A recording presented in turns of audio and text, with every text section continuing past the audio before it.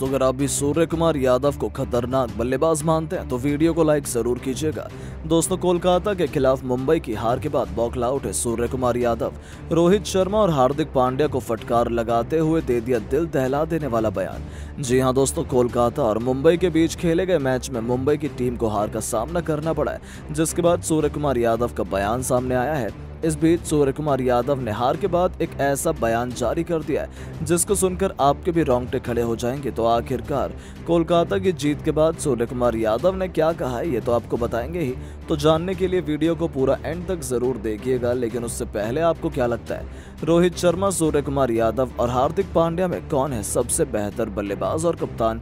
अपनी राय नीचे comment box में ज़रूर दें। दोस्तों, जैसा कि आपको पता है, कोलकाता और मुंबई के बीच कोलकाता के घरेलू मैदान पर रोमांचक मैच खेला गया, जिसमें बारिश के चलते इस मैच को 16 ओवर का किया गया। इस बीच मुंबई की टीम ने टॉस जीता और पहले गेंदबाजी करते हुए एक सौ सत्तावन रन, सात विकेट के नुकसान पर कोलकाता की टीम को रोक दिया और ये इसका पीछा करते हुए मुंबई की टीम ने पैंसठ रन की ओपनिंग साझेदारी की, लेकिन इसके बाद लगातार विकेट गिरते चले गए। और जिसके कारण मुंबई की टीम को इस मैच में हार का सामना करना पड़ा और मुंबई की टीम एक सौ उनतालीस रन, आठ विकेट के नुकसान पर बना पाई, जिसके चलते कोलकाता की टीम को जीत मिली है और कोलकाता की टीम प्लेऑफ में पहुँचने वाली पहली टीम बन गई है।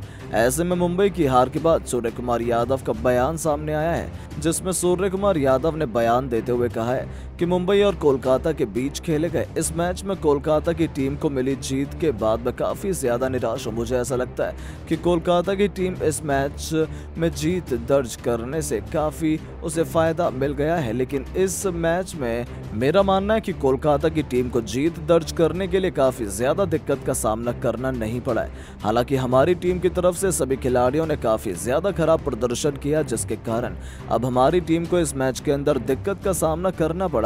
और हमारी टीम इस मैच को बुरी तरीके से हार गई। मेरा मानना है कि इस मैच में अगर हमारी टीम की तरफ़ से सभी बल्लेबाज और गेंदबाज बेहतरीन प्रदर्शन करते तो टीम की शुरुआत काफ़ी उनसे फ़ायदा मिल सकता था, लेकिन हमारी टीम की तरफ़ से सभी खिलाड़ियों ने एक होकर बेहतरीन प्रदर्शन नहीं किया, जिसके कारण आज मुंबई की टीम को बड़ा हार का सामना करना पड़ा। इसके अलावा उन्होंने आगे बयान देते हुए कहा है कि इस मैच में मुंबई की टीम की हार का मुख्य कारण क्या रहा?